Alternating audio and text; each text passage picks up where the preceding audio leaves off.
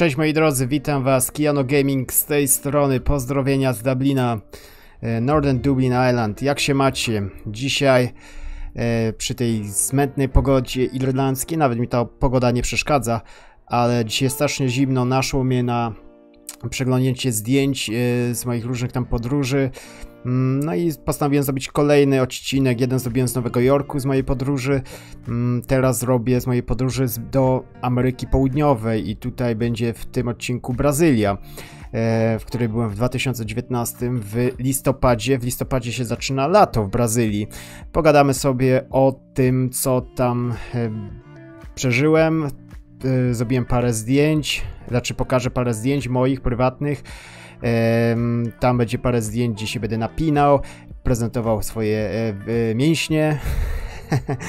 Wiecie, e, ja zawsze przed podróżą zawsze rzucam dosłownie 3,5 kilo przed podróżą. To jest takie coś, jak człowiek już ma powyżej 30, to stara się wrócić do formy e, taką, jak się miało 20. Jak miałem 20, to dosyć dużo trenowałem e, różnych sportów i przede wszystkim siłownia, ale jednak już tak od mniej więcej 8 e, lat coraz ciężej, już po paru operacjach jestem, ale zawsze jak się idzie na wakacje, to trzeba no nie dopakować, ja na obrót chcę schudnąć, e, w moim, no w większości problemów jest właśnie brzuch, nie, to człowiek tak z tego e, chce jakoś tam wyglądać, wiesz, podbudować się, no trochę to słabe jest, no ale tak mam, te, tak, tak, tak jakoś wychodzi zawsze, nie? Więc będzie parę moich zdjęć bez koszulki, e, więc od razu, żeby się ktoś nie triggerował, może przestać oglądać, nie wiem ile, ale chyba niedużo. Znaczy większość e, o, e, zdjęć, które z Brazylii, gdzie jest lato, no to wiadomo się, jest w shortach, w majtasach i bez koszulki więc nie mam tam żadnych profesjonalnych zdjęć, są takie zwykłe zdjęcia, wiecie, w szczyk, Y, stryk i na tego, i na, i na Instagrama, czy na co tam, nie wiem co, to na, na Facebooka, tak, jakieś tam tego, do relacji i tyle. E, pogadamy sobie o grach. W Brazylii, to też ciekawy aspekt i, i zapraszam, nie do końca wiem jak długi będzie ten vlog, więc zdjęcia wszystkich innych osób, jakie jakieś tam będą, to będą scenzurowane, bo ja szanuję, nawet mojej żony um, zdjęcia będą scenzurowane, bo moja żona nie jest internetową kobietą, w sensie osobą nie ma Facebooka, nie ma tych spraw i ja to szanuję i dlatego ja zawsze jak udostępniam jakieś zdjęcia kogokolwiek, to ja zawsze pytam, albo po prostu daję tylko siebie, albo, albo po prostu y, kanceluję, bo bo powinien, powinni tak ludzie robić, tak pytać. Ja jestem na to uczulony, tak? Więc e, zawsze mm, kas, kasuję, e, cenzuruję kogoś. No, tak samo tutaj będzie pewnie moja żona scenzurowana. E, zapraszam Was.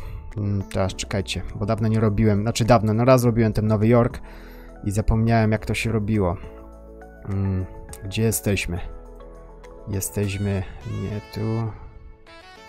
Jesteśmy na... Już sobie to włączę. Jesteśmy na pulpicie tak, jesteśmy. Dobra, my się przełączamy na czwóreczkę i zapraszamy na zarządzanie obrazami, pokaz slajdów. No i mamy pierwsze. Wybraliśmy się, zmieniliśmy plan dosłownie dosłownie zmieniliśmy plan 4 godziny przed tym przed wylotem. E, oddałem bilety. Ja mam, ja pracuję dla korporacji e, linii lotniczych, więc mam. Moja żona też wtedy jeszcze pracowała dla korpow e, lotniczego i mm, zmieniliśmy bilet 4 godziny wcześniej. Zmieniliśmy Air France na, z Paryża na Lufthansa z Frankfurtu.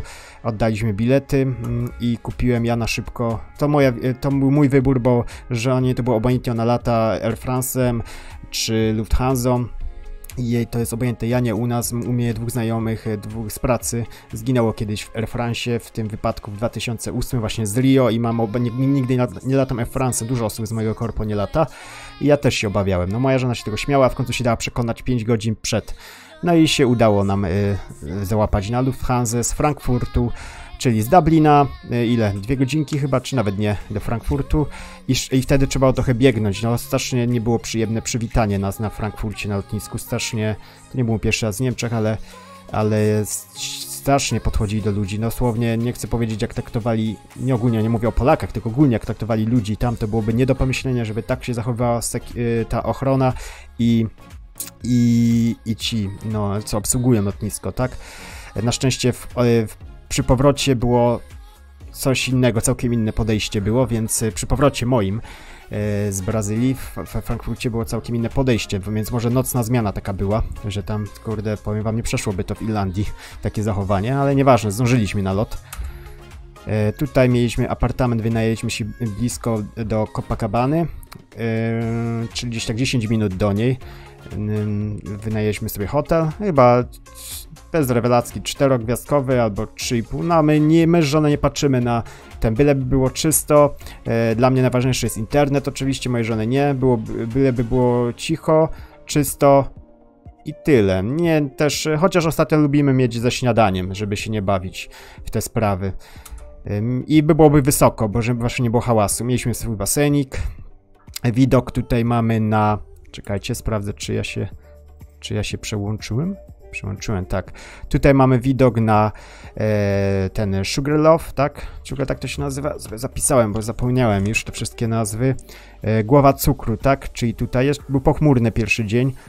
Mamy tutaj górę, Y, cukrową, czyli to się nazywa Sugar Love Mountain i tutaj jest, gdzie jest nasz Jezus Odkupiciel i on jest tak mały, że jego nie widać. Rio jest ogromne i strasznie jest ten, jak się ląduje na tym lotnisku, czas, nie, czas tego to jest w Paryżu, sorry, w, o zapomniałem nazwę, na lotnisku głównym w Brazylii, e, ląduje to jest biedna dzielnica jedzie się przez tą biedną dzielnicę, to naprawdę, dzielnicę, e, dzielnice, wiele dzielnic, tak, to strasznie widać tą biedę, wiecie, tak, jaka jest różnica, pan się wjeżdża po taki tunel pod zatoką i wjeżdża się w bogaty rejon. e, Rio. I naprawdę bogaty rejon, to mi przypominał e, Nowy Jork, tak byłem w Nowym Jorku, też były taksówki żółte, normalnie taka jest różnica, wieżowce, wszystko jest taka różnica między biedotą i bogatymi e, w Brazylii, że nawet ci, co mieszkają w Polsce, co twierdzą, że nie ma różnicy między klasami, o, pojedźcie do Ameryki Południowej, czy nie tylko gdzieś do jakiegoś innego kraju, Brazylia jest fenomenem, bo to jest bogaty kraj, ale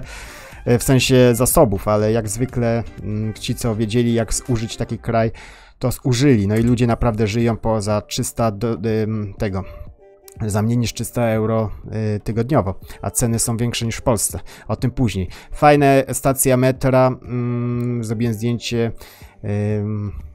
W każdym większych miastach, w których jesteśmy na świecie, to zawsze meta, tak wszyscy używają, najlepszy transport, ale, tak, ale takiej stacji to dawno nie widziałem. Tak w skale była zrobiona, to w Rio. E, tutaj mamy, mm, to nie jest Copacabana. E, Copacabana to jest najgorsza plaża, jaka jest w, w Rio. Ona jest po prostu znana z tego, że jest w centrum.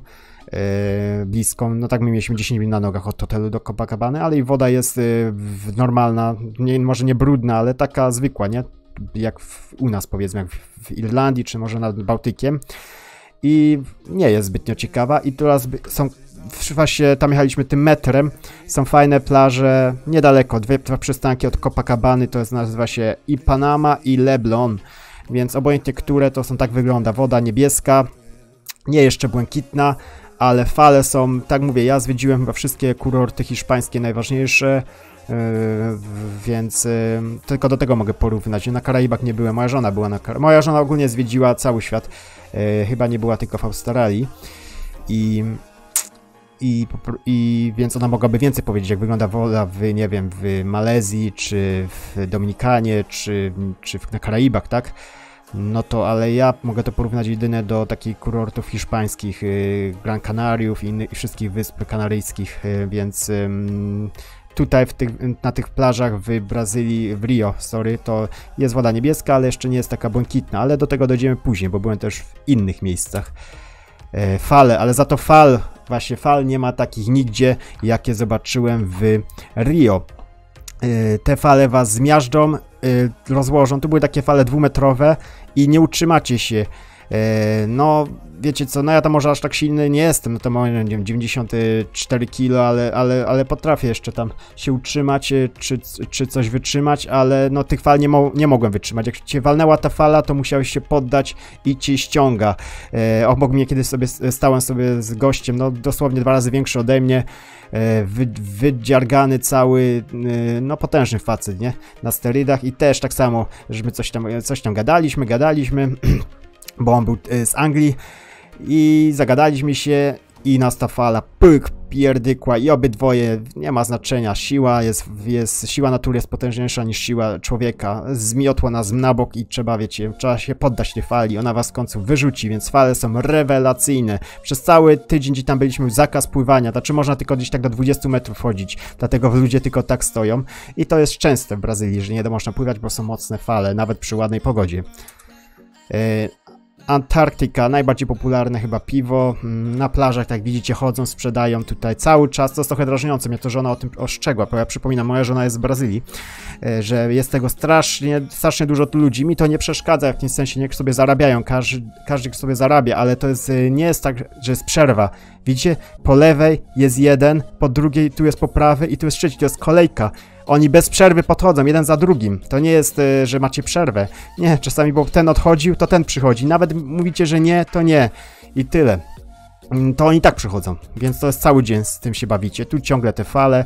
Yy, pogoda jest, yy, rano bywa pochmurno, potem przychodzą chmury, ale to się zmienia, jest wietrznie na pewno, więc ta pogoda jest ciągle zmienna w Brazylii. w sensie, mm, no, się te chmury się rozwiewają, że rano było całe zachmurzone, potem jak widać tutaj się rozjaśnia. E, tak przypominam, w Brazylii się lato zaczyna w, e, w listopadzie zawsze. I to nie znaczy, że w, wcześniej jest zimno. Nie, wcześniej jest e, tam powiedzmy poniżej 30, ale w lato jest powyżej 30. Tutaj jechaliśmy na lagunę brazylijską, 3 godzinki autobusem i potem łódką i dokładnie miejscowość Arraial do Cabo tak? Ahajał du Cabo, chyba tak to się wymawiało. Jakby moja żona mnie usłyszała do Zazbicki, który jest kiepski i nie ma zamiaru w sumie go szkolić, nie chce mi się.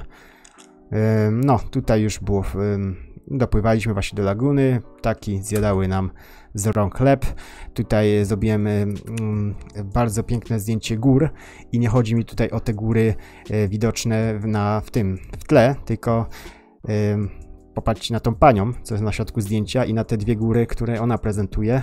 Są dosyć e, e, ten wyraźne i dobrze zaokrąglone i, do, i dość twarde. To jest dość brazylijskie, co widzicie, czyli ten tak zwane pośladki brazylijskie i tego zobaczycie dużo i na, na, na, na plażach dziewczyny się widać chwalą e, świeżo zrobionymi pośladkami, bo to są w większości zrobione. Brazylia rządzi się e, operacjami plastycznymi. I tak, no, ja mówię, mam żonę Brazy Brazylijkę i ona nie ma żadnych jeszcze operacji, ale pewnie by zrobiła, jakby, jakby chciała.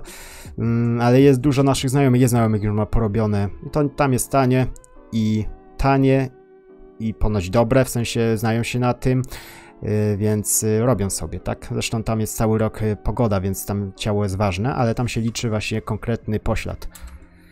Tutaj te jaskinie, które mnie w ogóle nie interesowały, ale interesowały, mnie żółwie i natura. Strasznie dużo żółwi widać w tym, y, w morzu.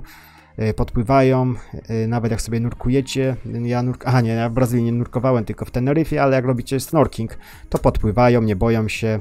Tutaj dopływaliśmy właśnie do tej laguny, o której powiedziałem, no tu już woda jest piękna, zdjęcia tego nie oddają, ale można to samo odnaleźć według mnie w Hiszpanii. Woda i jej wygląd, e, każdy kto zwiedził wszystkie hiszpańskie, włoskie, greckie wyspy i inne mieściny, to dla mnie to wiecie co, mm, jest podobne, więc gdzieś może jest bardziej lazurowe, gdzieś jest bardziej niebieskie, ale ale jest podobnie. Ja musiałem tą koszulkę nosić pierwszy raz w życiu, a tak mówię, już byłem y, od, y, nie wiem, od, od 12 lat latam po świecie, po ciepłych krajach. Pierwszy raz musiałem kupić sobie tą koszulkę, bo się zjarałem. E, strasznie. I ja używam kremów, tylko użyłem 30. I tak się zjarałem. Musiałem sobie tą koszulkę skupić, bo, bo już mnie, kurde, nosiło. I no, tutaj żeśmy się y, rozbili. No i każdy mógł sobie zostać na łodzi, pić, albo iść sobie na plażę i tam pić. No ja już mi się nie chciało na plażę iść, bo już... Y, no, bo już byłem tam, żeśmy całą lagunę, żeśmy jeździli na każde plaże, żeśmy przeskakiwali, stwierdziłem, że sobie na łódce popiję. O grach powiem może na koniec, wiecie, coś o, o, o sferze gier w Brazylii, bo to jest ciekawe też. Tutaj jechaliśmy na ten... Yy, na Jezusa Odkupiciela, tak? Górę. On ma 30 metrów, jest na 8-metrowej balustradzie takie, tak? Balustradzie to się mówi, a góra ma 700 e, metrów, ja gdzieś to ma zapisane. 740 metrów i to jest granitowa góra E, Corcovado, tak się chyba nazywa, e, nie zapisałem sobie, ale Corcovado tak się nazywa ta góra i Jezusa nie widać z Rio, znaczy widać, on jest taki malutki, ale no strasznie malutki, to się wydaje w głowie, wiecie, że jak jesteście w Rio, że ten Jezus będzie patrzył na to Rio, będziecie go widzieć, nie, on jest tak malutki, że go nie widać właśnie e, z tego, ten Sugarloaf, Sugarloaf, tak się nazywa ta druga góra, ja myślałem, że właśnie na tej górze jest ten Jezus Odkupiciel, ale nie, on jest na właśnie na tym, na, na tej granitowej, tak? Yy, górze. No. Tutaj się wyjeżdża, mm, jedzie się autobusem. Też tam czytałem, teraz jak czytałem, że jest jakaś kolejka, ale ja nie pamiętam, że była kolejka. Jedzie się busikami takimi i, i strasznie dużo osób mdleje na górze. I ja też prawie musiałem uciekać z góry, bo mdlałem. Było tak ciepło, e, było tak ciepło, powiem wam, i do tego tak wysoko, no to 740 metrów, ale strasznie się jedzie tak szybko do, do dosyć wysoko, bo ta góra jest takie, te góry są takie jakby to nie kaskadowe, takie wiecie, takie jak palce do góry i strasznie szybko się tą wysokość osiąga. I w pewnym momencie, momencie, co mi się to nigdy nie stanęło, nigdy nie zemdlałem w ogóle w życiu, no zemdlałem po uderzeniach, jak trenowałem boks czy coś, to tak, y, mi się zdarzyło, ale tak od nie wiem, latania czy czegoś. Nigdy mi się nie, nie, nie zbliżyłem się nawet do zemdlenia, ale tutaj musiałem uciekać w dół, bo e, wody mi zabrakło. Wychlapałem chyba w godzinę tam, półtora litra wody nie wystarczało i już nie miałem i zaczynałem leć. I strasznie dużo osób mlało. Młodych, starszych. W środku tego jest kościółek, kapliczka i tam odprawiają msze. E, na dole jest tutaj pod, pod Jezusem, jest, tam się wchodzi do środka ogólnie. No i tu jest widok, widok z góry na Rio. No, tutaj już się zaczynają e, te, e, no, slumsy, te brazylijskie. I one dookoła tej góry są wszędzie, tak? Tutaj jestem ja. Jeszcze z moim fit watchem. Zawsze mam fit watch, jak właśnie chcę schudnąć to sobie zakładam. Już nie nosiłem rok, bo teraz mi nie zależało, ale właśnie yy, noszę, to jest, zawsze mam, jak zakładam, jak mam plan schudnąć.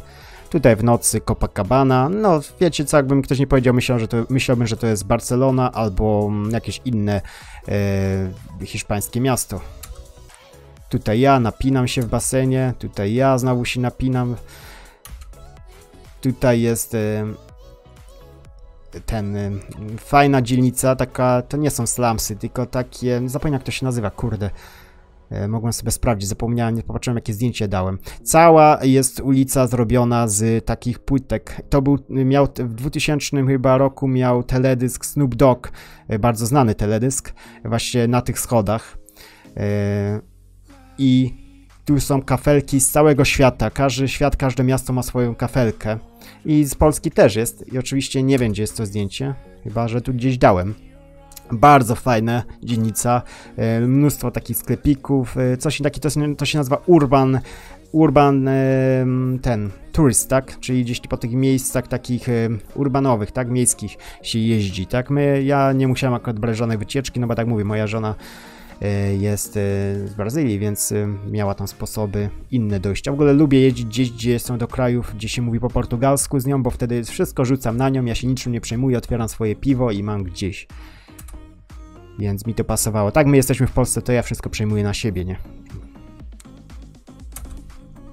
No, pełno takich tych e, e, graffiti, naprawdę niektóre są rewelacyjne. Tutaj zrobiłem zdjęcie, patrzcie jak są kable rozłożone. Wszystko na wierzchu. No kurde, tu tak ten rynek, tu taki rynek był i to się już święta zbliżały, tak? Były jakieś tam choinki, ogromny rynek, można byłoby się zgubić. Tu ja przed snorkingiem, wybraliśmy się na wyprawę, e, żeby e, na specjalną wyprawę łódką do snor e, snorkingu. Uwielbiam snorking bardziej niż nurkowanie. Nurkowanie mnie trochę no nie czuję się dobrze. Dwa razy nurkowałem, raz tragicznie to wyglądało i wolę snorking e, robić, uprawiać. E, tutaj właśnie na jednej, no bo tam właśnie gdzie, gdzie robiłem snorking, sobie zrobiłem fotę, tam była dosyć piękna woda, ale nie o to chodzi, że była piękny kolor, tylko było głęboko, a, było, a była taka lazurowa. No właśnie tutaj, tutaj wszyscy widzicie, e, snorkowali dookoła, e, było widać piękne rybki, nie było rafy, a czy rafa była w innym miejscu, ale tu było mnóstwo rybek, takich e, skalarów i innych spraw. Pewnie to nie są skalary, tylko mi to przypomina. Dosyć ciekawe miejsce. Tu akurat można było być tylko 40 minut na, tym, na tej lagunie. No tutaj chyba już ostatnie dni, jak się żegnałem. Często można zobaczyć taką pogodę w Rio. Rio, pamiętajcie, no to tam jest dosyć, potrafi być deszczowo, to nie znaczy, że jest, jest duszno zawsze ale potrafi być taka pogoda. Tu na tych plażach widzicie te flagi, mm, to każda flaga pokazuje, że ten rejon e, tutaj na przykład będą, może na przykład flaga polska, flaga Niemiec, to nie znaczy, że tam tylko Niemcy, czy ten, ale jakby ktoś szukał swoich, to na tej plaży to właśnie, to jest Copacabana na pewno. E, to możecie szukać w tych rejonach, gdzie jest swoich, jak was to interesuje spędzanie. Jest coś flaga e, na przykład e, LGBT, to wiadomo, że tam jest dużo gejów, tak? I lesbijek i my na takim miejscu mnie żona zaciągnęła i w sumie nie było źle, bo, bo nie było dużo, za dużo takich, wiecie, macho z tymi, z muzykami, jakimiś dziwnymi gangsterki i tych spraw.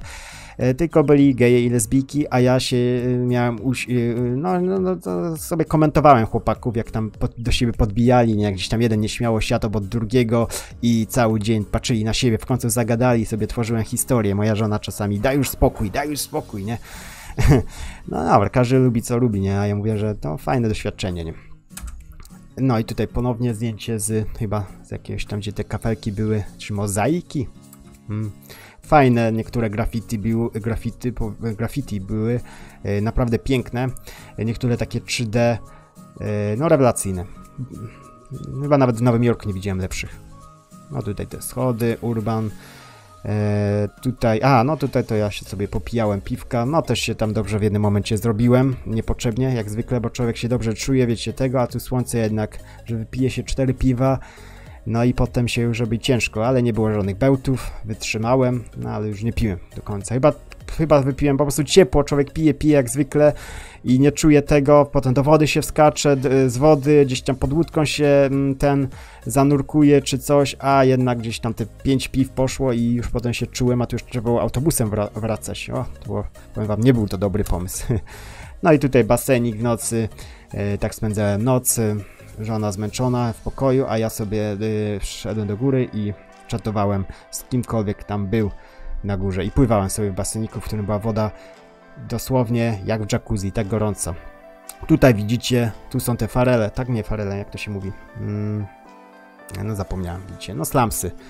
E, tutaj na tych górkach, te światła, to wszystko są slamsy. Jest tak olbrzymie i są wycieczki na to, do, do, do, do tych miejsc, wiecie. E, bo można sobie autobus wziąć i tam jedziecie i zwiedzacie to. Mm, nic wam tam nie grozi, jak nie podskakujecie. Oczywiście, a i a propos bezpieczeństwa Brazylii, wszyscy ostrzegają i to nie tylko tu, w Brazylii od lotniska was ostrzegają. Przed złodziejami, przed by chować wszystko telefony. Moja, moja żona zawsze wymienia sobie iPhone'a swojego na swój stary iPhone tam. E, tak, ja czułem się niebe, nie, niebezpiecznie. E, w Rio, ale widać grupki, tak widać na tych filmikach, że kradną. Są grupki, jak będziecie chodzić z telefonami, to mogą wam ukraść, wiadomo, ale jest mnóstwo policji i ogólnie jak nie podskakujecie, to nic wam się nie stanie, ale mam znajomego, który do, został dziabnięty nożem. Ja się nie czułem źle w Brazylii, mm, czułem dużo policji, ale trzeba uważać i nawet w hotelach was ostrzegają i zwracają uwagę, żebym ten krzyżyk zdjął, bo mi zerwą go. No, bez przerwy nam przypominali. Y, na tym w hotelu czy gdzieś, y, żeby uważać, nie? To nie, że obcokrajowcy, tylko oni nam przypominali, nie? Żeby uważać, więc y, nie mam, dlatego też nie mam dużo zdjęć, bo nie nosiłem aparatu telefonu ze sobą, no po prostu jak oni tak mówią, moja żona tak mówi, która z Brazylii, no to tak robiłem. A propos gier, gry i w Brazylii ogólnie elektronika jest strasznie droga. Chyba nowe konsole przeliczając na pieniądze tu kosztują 500 euro, a tam nowa konsola będzie kosztowała 800-900 euro chyba, coś takiego, może nawet drożej. Jest strasznie duży podatek na konsole i gry, dlatego na serwerach na świecie widać strasznie dużo Brazylijczyków grających w stare gry, tak? E, oni grają w starsze gry, no bo jest tam to drogie. Trzeba przypomnieć, Brazylia jest ogólnie drogim krajem, co się jest dziwne dla kogoś. E, my, jak byliśmy w Brazylii, to e, ten, no, jak się nazywa y, brazylijski real, tak, brazylijski, o. Y, był w tej samej cenie co euro, czyli ja miałem 1 zł to było 4 euro, to 1 real był, 1 euro był 4 reale, więc ceny były porównywalne do Polski, mogłem to sobie porównać jako wyprawę do Polski i ceny były porównywalne do Polski z tym, że były droższe, na przykład czekolady były drogie, e, niektóre rzeczy były droższe, jak czekolada, elektronika, no czekolada naprawdę, wszystkie słodycze tak drogie, e, no współczuć można, współczuć można tym ludziom, bo to jest dziwne, wiecie, gdzieś tam ktoś jedzie do Afryki, czy gdzieś, e, znaczy Afryka też jest teoretycznie materialnie, znaczy materialnie mają, no mają złoto, mają ropę, a też jest biednym krajem, ale naprawdę jak gadaliśmy tam z Uberem, z, co nas woził Uber, tak, kierowca, to no moja żona tam po portugalsku z nim gadała, jak się zmieniło, no już też dawno Brazylii, no odwiedza Brazylię, ale nie mieszka już prawie 10 lat, no to mówi tam, yy, że kierowca, nie, no co ty, 300, 300 euro tak średnio na miesiąc, nie? Tak przeciętny zarabia. No a ceny takie jak w Polsce. E, wtedy, pamiętam, może się coś zmieniło, e, ale w rok e, temu były ceny takie jak polskie. No to sobie wyobraźcie, jest naprawdę, trzeba kombinować w tej Brazylii, a już o grach zapomnijcie, tak my żeśmy przywieźli dużo elektroniki, stare laptopy, stare tablety, dać tam mojej znajomym, mojej rodzinie i znajomym mojej żonie, mo mojej żony, tak? Więc oni to doceniają. Jest to drogie, no. Mają piękny kraj, piękny kraj, ale drogo y, może być. Tak, jak ktoś myśli, że będzie tak w Hiszpanii, że jest tanio, to nie, może się przekonać źle. Chyba, że się coś zmieniło w ciągu roku, ale nie przypuszczam, bo, bo może być tylko drożej. Ym, czy polecam Brazylię? No oczywiście, że polecam, ale czy polecam Brazylię dla zwykłego zjadacza chleba takiego jak ja? Moja żona jest backpackerką, tak? Ona jeździ po całym świecie, jest taką, wiecie, nie zależy jej tam, żeby zrobić zdjęcie na Facebooka dać, ja jestem takim, wiecie, Januszem podróży. Przyjść, napić się piwa, zjeść kiełbasę, siąść na plaży, pomarudzić, książkę przeczytać, iść do domu, na internecie posiedzieć, e, pójść na gdzieś tam, zrobić zdjęcie, duchowo jakoś się tam nie czuję, żeby coś tam, coś z, duchowo w sensie, wiecie, gdzieś tam pójdę, o, i będę się zachwycał nad czymś tam, no ale nie. Moja żona nazywa się tą drugą osobą, kto się zachwyca tym, i więc dla takiego Janusza jak ja, no to Brazylia, no wiadomo, tak czy siak, czy bym nie, nie miał żony Brazyliki, czy bym miał, to i tak bym odwiedził Brazylię, bo powiedziałem sobie, że każdy kontynent odwiedzę, ale mm, czy polecałbym dla normalnego turysty? Nie, no bo to samo macie, podobne rzeczy możecie zobaczyć, jeśli chodzi wam tylko o plażę, wodę, to podobnie macie w, macie w Europie, jedynie te fale są inne, ale kulturowo jak najbardziej polecam, bo na przykład już y, sam fakt y, gdzieś tam tych małpek, zobaczenia małpek przy y, tym Jezusie akurat na górze, które ostrzegają, by że mogą ukraść jakieś tam portfele, ten to już jest coś innego, tak? E, niż, no gdzieś w Europie pewnie też są jakieś małpki, ale na przykład, no ja nie, nie pamiętam, że widział w Europie czy jakimkolwiek innym kraju małpy. W Tajlandii nie byłem. No więc to jest co innego. No i jeśli chcesz zobaczyć takie tyłeczki twarde, to też y, zapraszam tam do Brazyl. Więc tyle. Nie wiem ile nagrałem, ale pewnie za długo niż, niż myślałem, że to zrobię. Zobaczmy. No, pół godzinki, spoko. Reasumując, zrobiłem ten odcinek, żeby o tym zrobić coś innego oprócz grania. Ja, tak przypominam, chciałem wcześniej zrobić kanał e, o podróżach, no ale w tym roku w ogóle nigdzie nie byłem, więc nie będę robił kanału o podróżach, jak nigdzie nie byłem. W sumie ja aż w tak dużo miejscach nie byłem ogólnie. Głównie Europę zwiedziłem, zwiedziłem w jedne z najważniejszych tam miast. Moja żona mogłaby zrobić, bo ona była na całym świecie. Ale jakby ktoś pytał, był ciekawy Brazylii, to proszę, zapraszam w komentarzach, e, może coś jeszcze pamiętam, no, w sumie pamiętam, no, e, coś tam mogę doradzić i tak jak mówię, z perspektywy gracza Brazylia jest bardzo droga, jest tam dużo graczy, tak, wiadomo, jak wszędzie, ale naprawdę oni, oni są o generację wstecz, w sensie tak moja, moja, moja żona ma bra, brata młodego, tego, to on tam się, wieście, jara jeszcze tym PlayStation 4 i tymi sprawami, bo to jest drogie, no. Przypominam, no chyba z 800 euro, pamiętam, czy ponad, kosztowała konsola na premierę, tam dwa miesiące temu. Tam tak wychodziło. No to jak przeciętnie zarabiałem 300 euro. Mi te sumy teraz, ja mówię o sumach, które wiecie, te porównania cenowe jak były w 2019 roku, kiedy ja tam byłem. Teraz nie śledzę jak to wygląda, ale wiem, że ten brazylski real poszedł do góry, więc to teoretycznie powinno być dobrze. No ale nie wiem, w sensie, że euro, więcej kupię za euro, się opłaca inwestować. No też mamy działkę jak, gdzieś w Brazylii, nawet nie wiem gdzie, żona po, powiedziała, żeby kupić, to kupiłem. No, tanio było, to kupiłem, więc może kiedyś się tam wybuduję. Nie wiem. E, ale no ciekawe doświadczenie. No po prostu jest to doświadczenie, jest coś innego, inny, inny świat. No większy, wiadomo, większy szał na mnie zrobiła Nowy Jork powiedzmy niż Rio. Bo mi Rio się kojarzyło po prostu z, nie wiem, z Teneryfą, czy w jakimś innym mieście było. No mniej, mniej więcej to tak mniej więcej wygląda. Ktoś się będzie kłócił, że nie, o co za bzdury. No a ja takie miałem uczucie, to jest moje subiektywne. Jak, jak byłem w Nowym Jorku, to po prostu nie widziałem takiego miasta jeszcze. Dla mnie to było największe miasto, jakie zobaczyłem. Na mojej żonie nie zrobił Nowy Jork e, różnicy, czy jakiegoś wrażenia, no bo ona była w Singapurze, w Malezji, w Dubaju, w Abu Dhabi, więc tam to widziała. Dla mnie to było tak, że chodziłem szyją e, zwiniętą dookoła. No a w Brazylii było fajnie, ale daleko dosyć, męcząca podróż. E, jest ten jet, jet lag, tak, jack, jet lag, tak, to opóźnienie z podróżą odczułem to bardziej niż w przypadku Nowego Jorku, bo były dwa loty.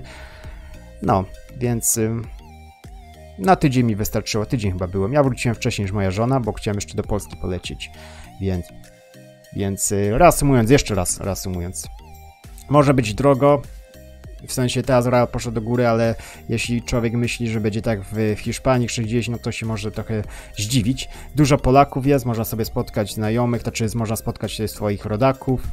Mm, no i ciekawie, inna, inna kultura. No ale jak jedziecie tylko na plażę, z tą myślą, z, z myślą o morzu, plaży, to chyba bardziej bym poleciał, polecał Teneryfę, Majorkę, Ibizę i inne takie sprawy. Cześć moi drodzy, do następnego. Pa!